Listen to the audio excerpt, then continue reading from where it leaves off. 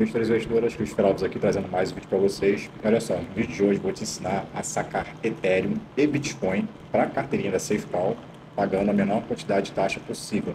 Tá bom? Vou te ensinar aqui esse método que é o como.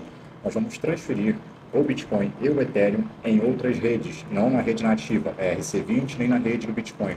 Vamos transferir utilizando outras redes, no caso do Ethereum, a rede da Arbitrum, e no caso do Bitcoin, a rede BSC.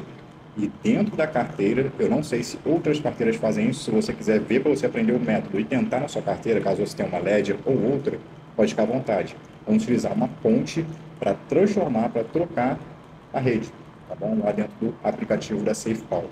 Vou te mostrar tudo isso aqui então na prática, na tela do computador e do celular junto, beleza? Então vamos lá. Primeiramente, olha só, aqui em ativos, do Nowcax, você clicar aqui em sacar. E aqui eu vou fazer o seguinte, Vou te mostrar aqui quanto que nós estamos pagando. Nesse momento vou sacar o Bitcoin, ó. clicar aqui no Bitcoin, avançar, clicar aqui. Olha só, o Bitcoin nesse momento estão 9 dólares, tá bom? E no Ethereum, nesse momento está, deixa eu ver aqui, a rede do próprio Ethereum, 5 dólares. Ok? O que, que nós vamos fazer? Nós vamos fazer o seguinte, vamos sacar aqui, na rede da Arbitrum. E o Bitcoin? O Bitcoin vamos fazer o seguinte, aqui na OKEx, por algum motivo, não tem a rede BSC ou qualquer outra rede.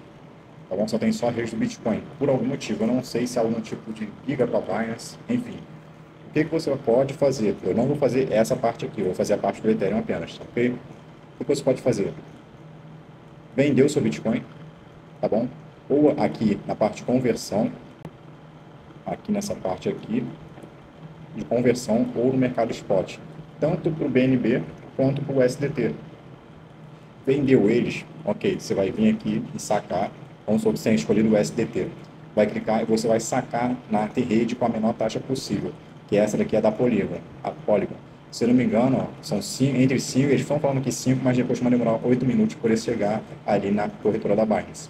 Como que você vai fazer isso? Vai pegar aqui o seu endereço, ó, já estou aqui, você vai criar uma conta na Binance, caso você não tenha, vai vir aqui, ó, nesse papelzinho aqui, clicar aqui em Spot para poder pegar e clicar lá em depositar, igual nós fazemos na OPEX. Deixa aqui o SDT, escolhe aqui a rede, ó. aqui ele já mostra já que a rede da Matic, ó, 8 minutos para cair aqui. Por quê? Porque são 200 confirmações. Depois disso, depois que chegar aqui, você vai comprar o Bitcoin, você vai sacar o Bitcoin aqui. Ó.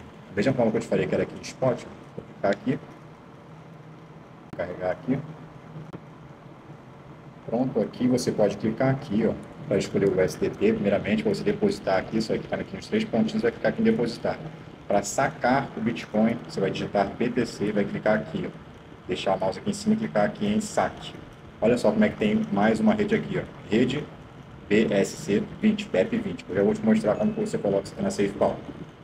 Agora, vou sacar o Ethereum. Isso aqui é para você ver como é que se faz até essa parte aqui. Tá bom? Vou clicar aqui em sim, tenho certeza. Deixa ele aqui agora, vou pegar aqui o Ethereum. Vou mudar aqui, ó, escolher moeda, Ethereum. Vou escolher deixar aqui on-chain. Clicar aqui na rede. Vou escolher a rede da Arbitrum. Arbitrum One. Agora eu vou te mostrar no celular, no aplicativo do celular, como você vai fazer isso aqui. Tá? Vou abrir aqui então o aplicativo da SafeCall para vocês verem como é que se faz. Estou já aqui com o meu saldo já todo em Ethereum. Desbloquear aqui. Você vai fazer o seguinte, você vai clicar aqui nesses três pontinhos, vai clicar aqui em gestão de moedas. Você vai clicar aqui e você vai digitar ETH. Vai aparecer ele aqui para você, você vai procurar ele aqui como ARETH, tá bom? Que é exatamente esse aqui da Arbitrum. Vai estar escrito Arbitrum ali do lado e a fotozinha da rede da Arbitrum, tá bom? Fez isso aqui, você vai clicar aqui para poder selecionar, o meu já está selecionado. Depois de ser selecionado, vai fazer aquele esquema todo que você já sabe como é que é. De verificar aqui com a carteira e depois com o celular. Não preciso fazer isso aqui porque você já sabe como é que se faz. Fez? Senão é só você ver a, a outra aula aqui. Fez isso, ele vai estar tá aparecendo aqui para você. A-R-E-T-H. Correto? Clica nele. Você vai clicar aqui em receber essa aqui é minha carteira, você terá a sua. Então eu vou mandar o Ethereum para cá. Vou copiar, vou colar ele aqui numa conversa do WhatsApp para poder puxar ele aqui para o meu computador. Então já estou com o meu endereço copiado aqui, vou colar ele aqui. Colou, não puxou a rede, então coloco manualmente, Arbitrum One. Vou sacar tudo, clicar aqui em máximo. Vou clicar aqui em avançar. Agora tem que fazer aquela parte burocrática de colocar o código aqui do e-mail e do Google Authenticator. Pronto, coloquei aqui tudo certinho, clicar aqui em OK. Foi sacado aqui para minha carteira. Daqui a pouco ele chega lá e eu continuo aqui a aula com vocês. O que mais demora aqui na OKEX, no caso, não é nem o saque em si, é isso aqui, ó. Eles deixam cancelar e aí acaba demorando um pouquinho para poder realmente progredir aqui com o saque. Vou deixar aqui então, porque assim que vai, ó, eu clico aqui na hash transação, na hora, é rapidinho aqui a nossa rede, já confirmou. Então, beleza, deixa eu voltar aqui. E olha como é que aparece aqui agora a nossa carteira. A minha carteira, no caso. Vou atualizar aqui. O saldo já está aqui. O que, que eu faço aqui agora? Volto aqui, ó. Tá aqui, ARETH, 330 dólares. Eu clico aqui, ó, em trocar. Lá embaixo.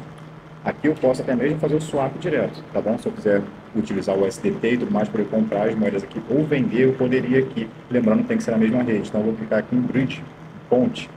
Agora eu vou escolher aqui o EAR-ETH, o Ethereum que eu acabei de enviar. Tá vendo? Tá aqui nessa rede da Aptum, a primeira, e agora vou trocar para a rede dele normal, a rede ERC20, por aqui, pelo aplicativo, pagando bem menos taxa então. Ligo aqui nela. Escolho aqui ó, a rede da Ethereum. Ele vai carregar, tá carregando para mim agora. Tá meio pesado aqui o celular, porque eu estou utilizando aqui o gravador junto. Olha só, então, colocamos o RTH lá em cima, na rede da Aptron, para mudar para a rede da Ethereum. Venho aqui embaixo, olha só, isso aqui é muito importante. Olha a taxa que eu vou pagar, 0,2%. Olha esses cálculos aqui. Vamos lá. Se você for enviar, por exemplo, mil reais e vai pagar 0,2%, isso que vai acontecer? Você vai pagar dois reais de taxa. Lembra quanto que era a taxa aqui na rede da Ethereum? 5 dólares, ou seja, cerca de 25 reais. Se você for mandar 10 mil reais para você poder fazer isso aqui, olha só quanto você vai pagar para poder fazer essa conversão aqui, 20 reais. Ok? Então pode ser que não vale tanta pena para você se for um valor assim de 10 mil reais que você for transferir para cá. De 10 mil para cima. Por quê? Porque a taxa aqui está aqui, ó, 5 dólares cerca de 20 reais, 25 reais na verdade. Então fica atento a isso. Se for valores mais baixos, isso aqui vale a pena. Se for passando de 10 mil reais para cima aí, dependendo da se for essa taxa de 5 dólares, pode ser que não vale tanto a pena, ok? Então vou deixar assim, clicar aqui em máximo, pronto, ele mesmo vai calcular aqui, se não der, se alguma coisa que der errado, significa que eu estou levando muito aqui do, da taxa, então eu tenho que diminuir aqui. Mas vamos tentar assim, só para você ver o que está acontecendo. Cliquei em máximo, vamos ver, fazer a bridge aqui, fazer a ponte, confirmar, e aí eu vou ter que ler daquele mesmo jeito, com a carteira. Olha só, eu vou ler aqui,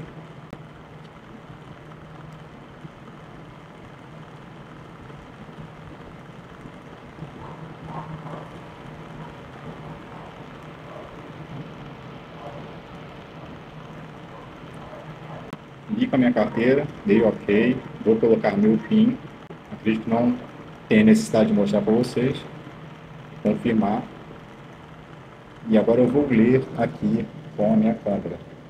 Vou confirmar, transmitir a assinatura do blockchain, ó, insuficiente, é isso que eu estava falando que aconteceu.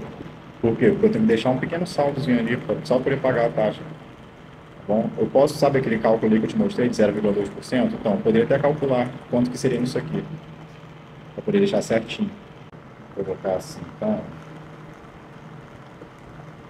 Para ver se vai. Clicar aqui em fazer a ponte. Confirmar. Escanear o QR Code. Ler o QR Code agora com a minha câmera. Transmitir o blockchain. Agora foi. Agora é só esperar aqui, tá bom? Vão demorar aí uns máximo 10 minutos poder fazer isso aqui. Se eu quiser ficar acompanhando, a mesma coisa, só clicar aqui nesse TX ID, logo aqui embaixo, ó, e aqui está dizendo? A taxa, foi claro que a taxa não é no é Ethereum, eu vou esperar aqui então, poder continuar aqui a aula com vocês. Então aqui para mim está aparecendo dessa forma aqui, ó, olha só, vou lá para baixo, vou clicar aqui nesse TX ID que eu tinha comentado com vocês, vou mostrar o seguinte, ó, olha quanto que eu paguei em taxa apesar que já está, já foi feito, sucesso. Olha só aqui embaixo, olha só, transação FII, taxa de transação, 0,08 centavos de dólar. Bem baratinho então. Posso clicar aqui em estado, transferência, ainda não foi tudo. Vou esperar aqui um pouquinho então. Pronto, agora sim foi. Eu olhei aqui para baixo assim apareceu. Foi transferido então aqui da rede da Apton para a rede da Ethereum. Vou voltar aqui, clicar ali em Wallet. Vou atualizar, tá vendo aqui, ó? ARETH ainda está aqui, ó. Terceiro par. Vou atualizar para ver. Agora zero, basicamente praticamente zerou, né? Pegou entrou o saldo ali em Ethereum. Perfeito. Assim que nós fazemos no Ethereum. Vai ficar aquele pouquinho ali. Se você quiser até tirar isso para carteira, você fica à vontade aí. 74 centavos só. Mas enfim. Olha só agora. E no Bitcoin, a mesma coisa. Como é que você vai fazer isso aqui? Vai clicar nos três pontinhos. Vai clicar em gestão de moedas. Vai rolar, rolar para baixo não. Você tem que colocar aqui o Bitcoin. BTC, você pode escrever já BTCB, mas se não quiser, você olha aqui, ó, é esse aqui embaixo. BTCB, da BEP20. Tá Escolheu ele, vem aqui na, na Binance, que tem essa, tipo, esse modelo de saque, ó, BTCB, que é o BNB BEP20. Vai demorar 5 minutos, você vai pagar aqui um real.